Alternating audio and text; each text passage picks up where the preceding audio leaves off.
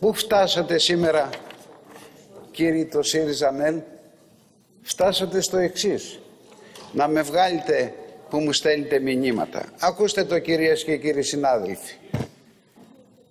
Φεύγει Πούλμαν για Θεσσαλονίκη την Παρασκευή 7 προμεσηβρίας και επιστρέφει μετά την ομιλία ή την επομένη το πρωί, την ομιλία του κυρίου Πρωθυπουργού. Όσες και όσοι επιθυμείτε, δηλώστε το. Είναι δωρεάν η μετακίνηση και διάφορα άλλα.